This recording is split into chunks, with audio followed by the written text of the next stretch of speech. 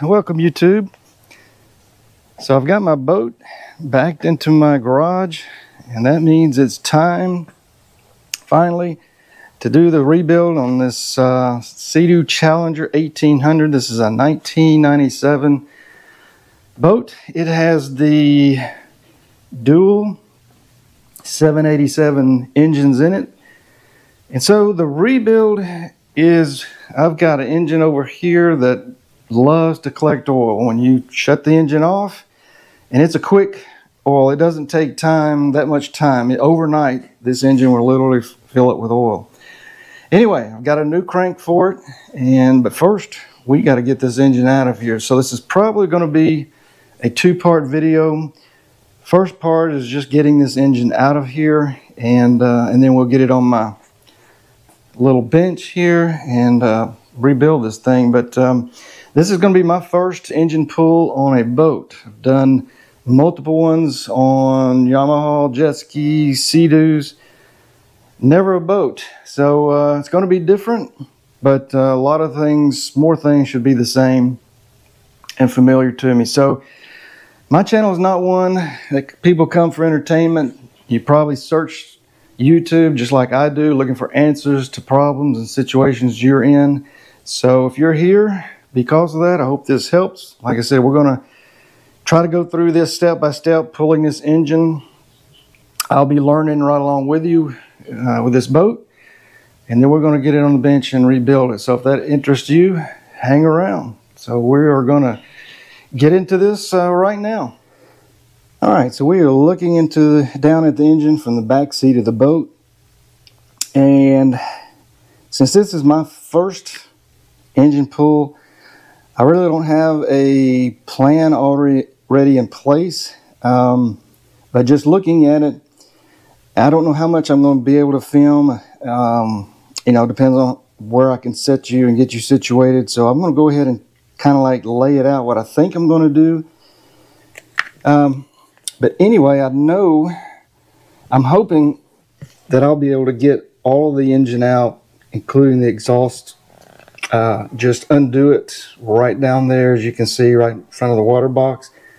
Hopefully, I can just disconnect that and be able to pull everything out. Except for the carb. Here's what I'm thinking.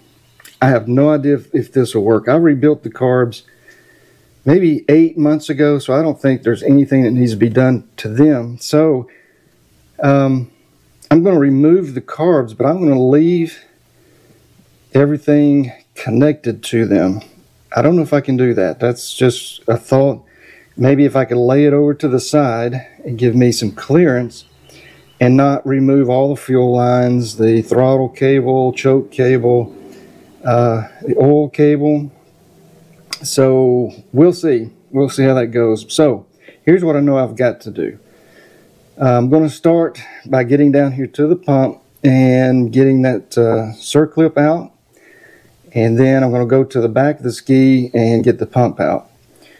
Then I've got to remove my water lines and of course the oil lines going to the engine itself that are down under here and remove everything else and for the most part I'm hoping that minus the carburetor, I can pull everything out just as it is. And, um, you know, I might have to remove the uh, back lid here because it kind of drapes over. You can't see it.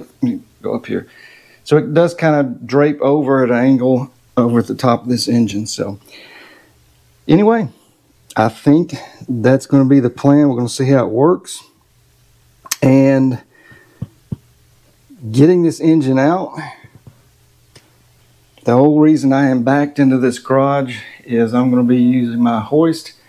So we're going to run it right up here uh, just above the engine bay and hopefully get this thing strapped up and just hoist it right on out of here without breaking my back. So that's what I'm going to start out doing and I'll try to get you in here uh, to see as much of the detail as possible.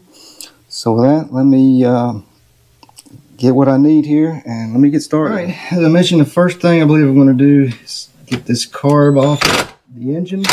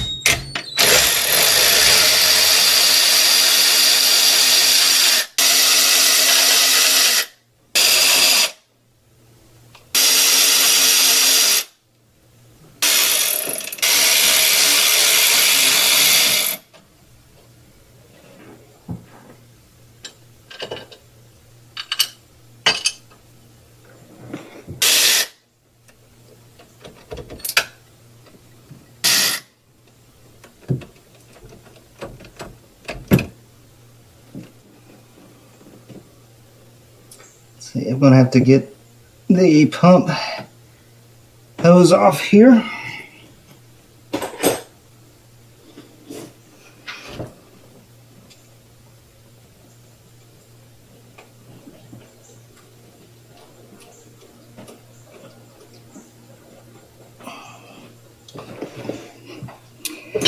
And let's see if I can do this, pull this off by hand. I didn't grab my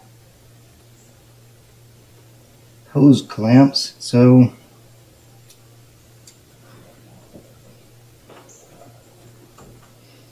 got it. I don't want to lose my clamp, although it doesn't matter. It's just going to fall down to the bottom.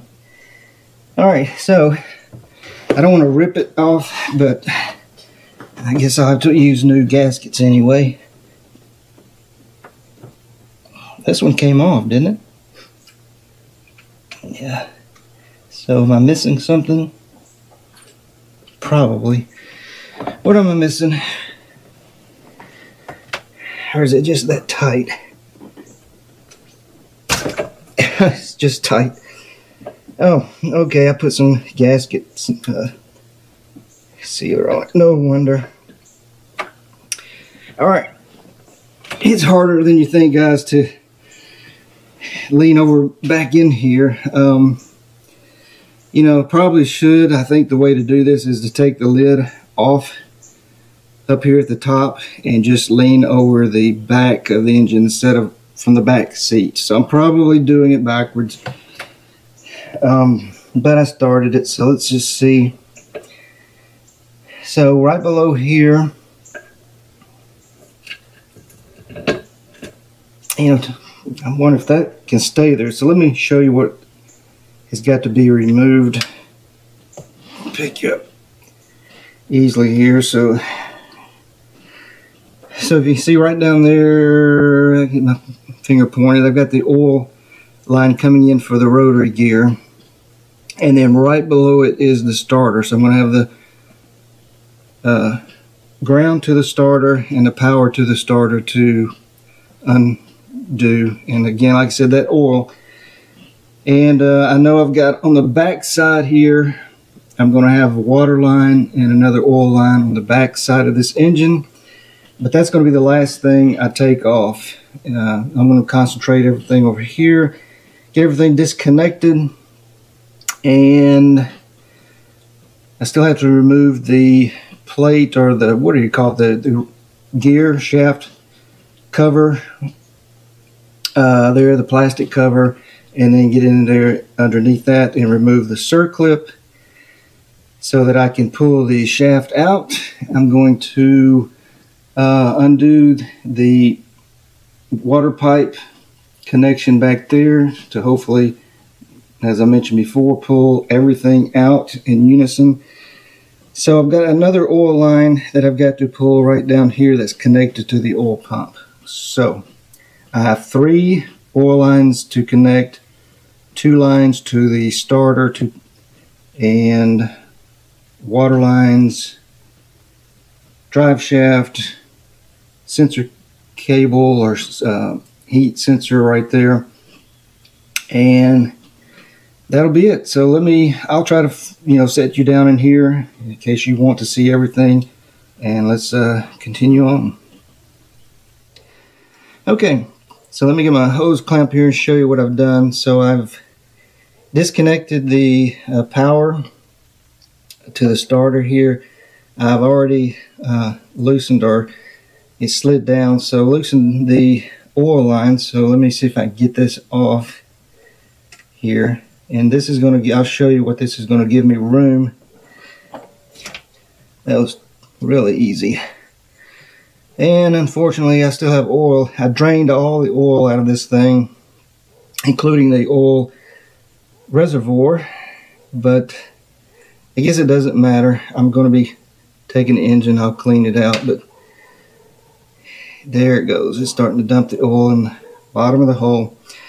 So I've got a bolt or nut right down here that's going to uh, loosen or free up my fuel line and that way I can get the carbs the rest of the way out of the way. It's a 13 mil I believe dark. So let me see if I can get down here and probably block you off, but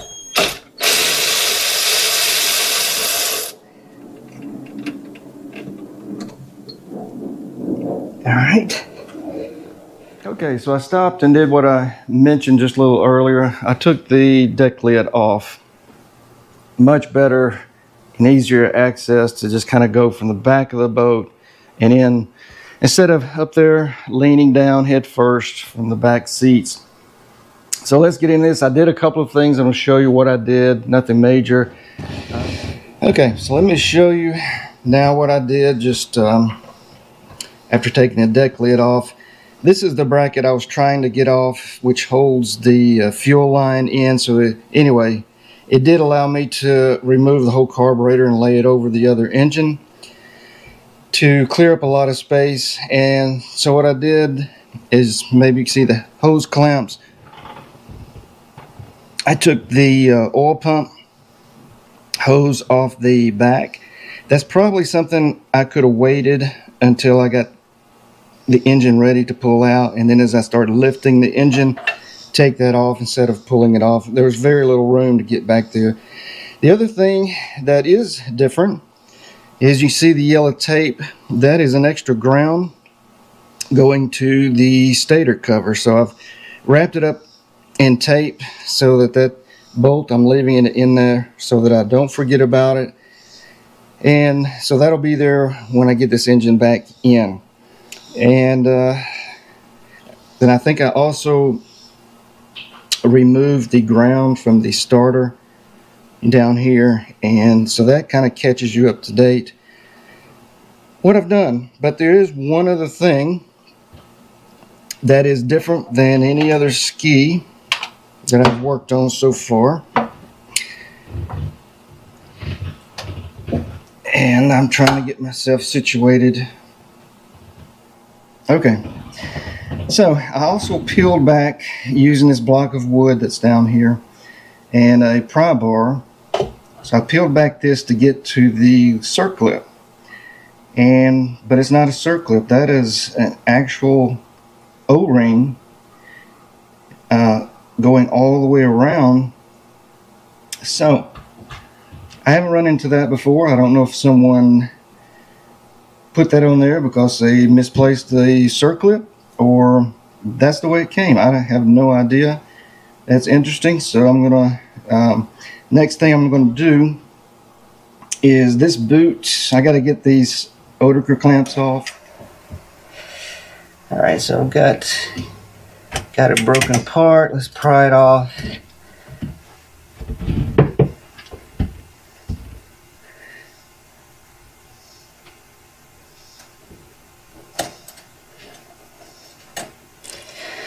Alright, so not too much damage to it. I really need, for the part that's kind of down here at the bottom, I really need it to kind of be up on the top. That would sure make it easier to get this one.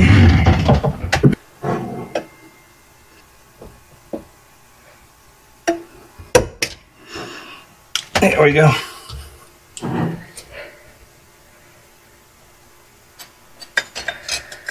Alright, so for now, I'm just going to leave them hanging. I'm not going to waste time trying to unlock them. So now, let me see. Um, let me grab you real quick.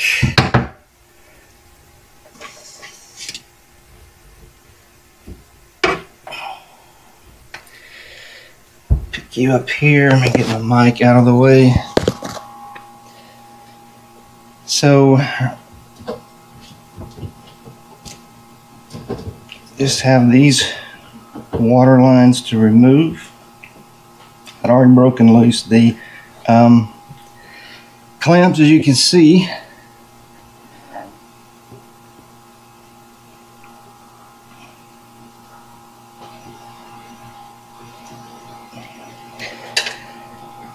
Now the sensor is off. I have the electrical still plugged up in the back uh, to the stator. And uh, we're going to see. Like I said, there's no plan. I'm hoping that once I get the pump out and I'm not going to um, unbolt the engine until I get the pump out use it as leverage to get it out and uh, I think that's about it so let's move to the back of this boat and um, I guess while I'm here is certainly easier to access but it's still difficult.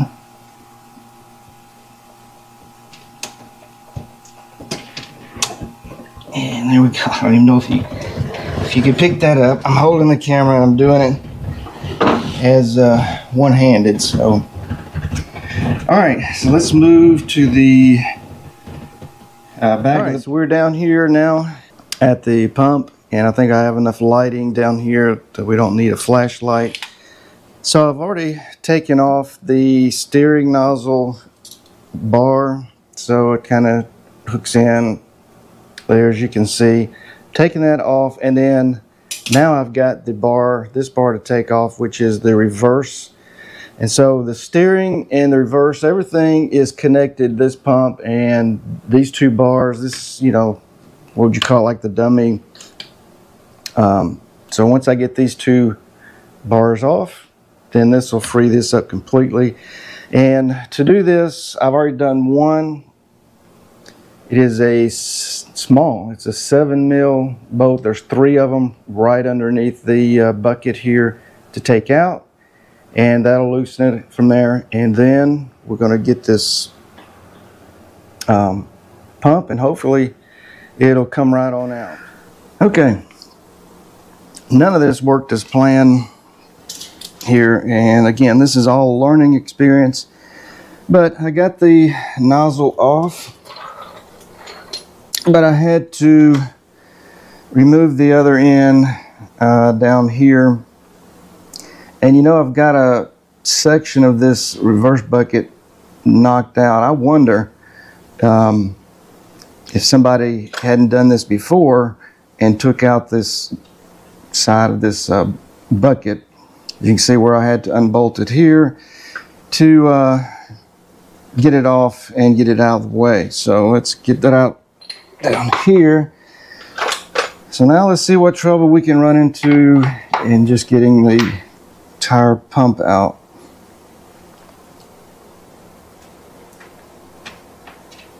Can't tell if that's going to end up being in our way. Looks like it, doesn't it? So we'll see. Uh, let me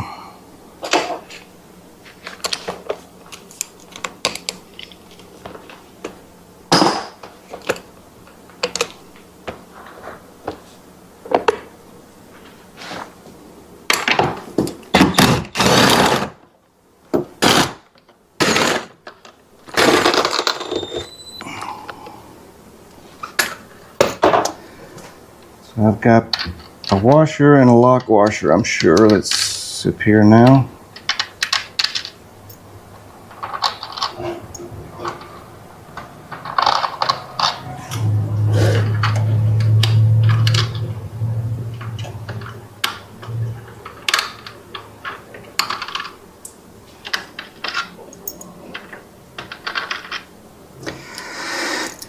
All right.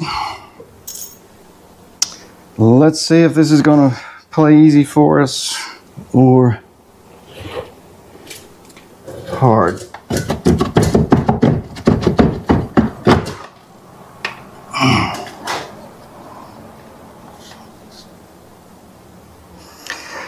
Let's see. So there, now that's pretty clean. When you say that looks like a pretty new prop or impeller, and clearance looks like a new wear ring, right? So let's take a look at what this is that I'm seeing. Let me see if you are seeing that. Let me find the flashlight. I see something different here. So what is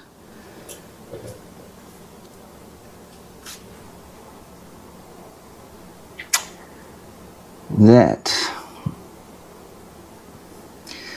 So it looks like I'm going to be stopping here and I'm going to have to go look this up and see what we are dealing with here and what that is going through the hull there. So it's not going to help me get the engine out with the shaft still in it. So, all right, man, I don't know what to do. Stop here. All right, so let me bring you back in real quick with an update.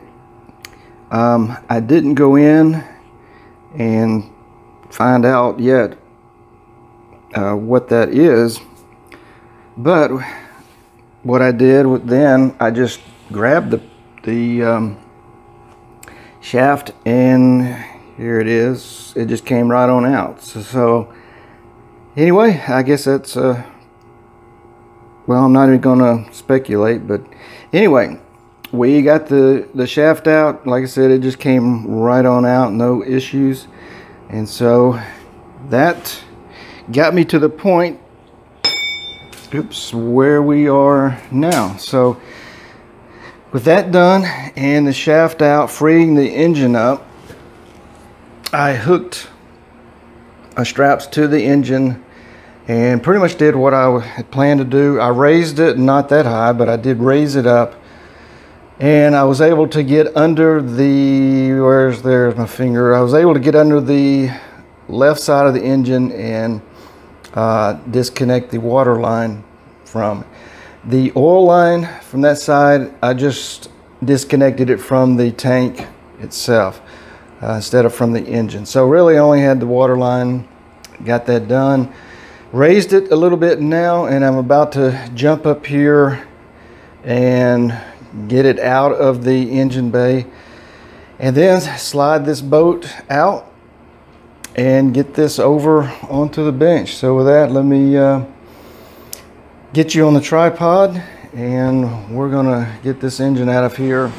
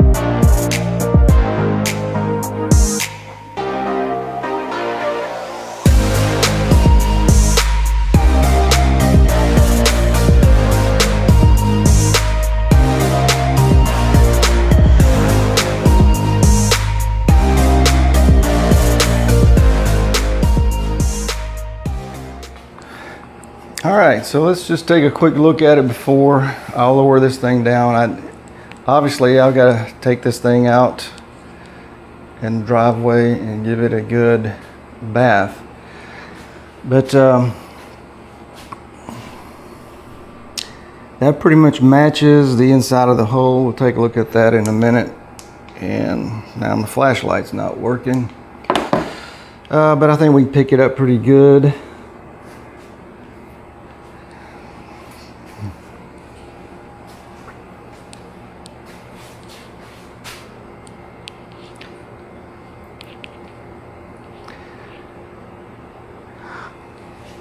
I don't know what, um, can you see that? I can't read it. What kind of starter that is on there. So this be kind of interesting for me when I get this on the bench. I'll pretty much know once I get in there if um, this engine's been taken apart before.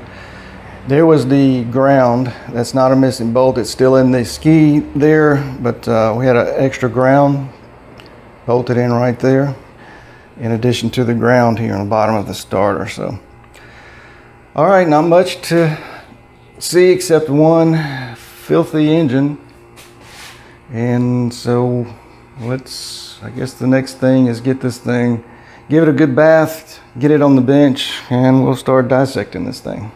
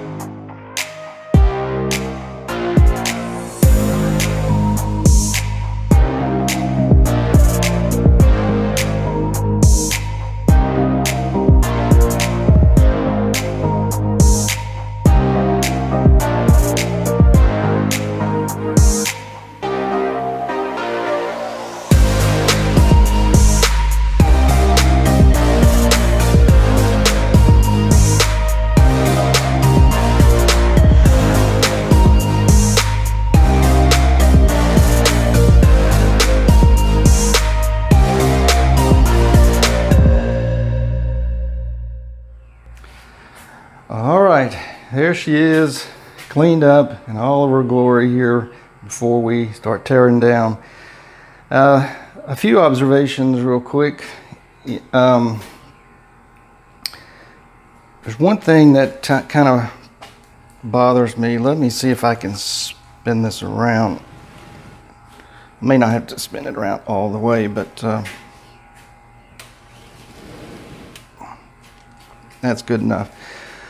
One of the things, as you can see the scoring and just the heat coming from these RAVE valves that's made its way down uh, to the exhaust there. So, you know, that's always concerning. And if you guys know what causes this, um, I had one guy, um,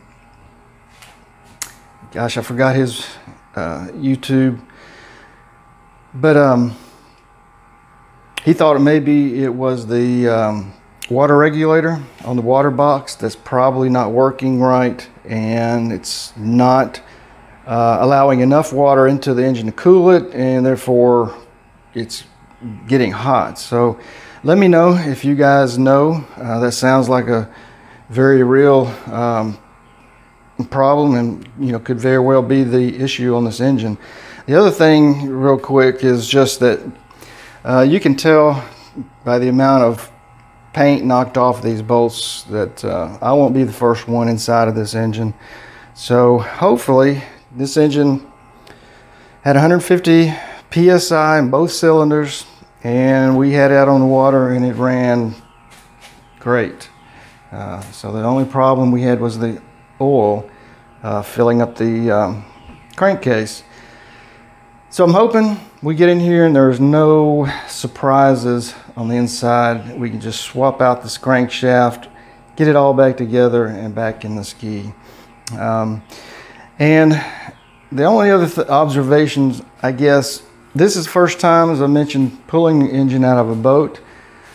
I thought it would be a lot easier than a jet ski, and uh, in some ways it, it was. I, I did have more room. I liked that I could pull out virtually the whole engine as opposed to um, you know having to remove the exhaust pipes, the uh, carburetors just to get it out of the, the hull of a jet ski. So that was nice, but I think the sheer height of this boat made it um, well difficult. Um, and I don't, there was no way without this hoist up here. Where is it? There we are.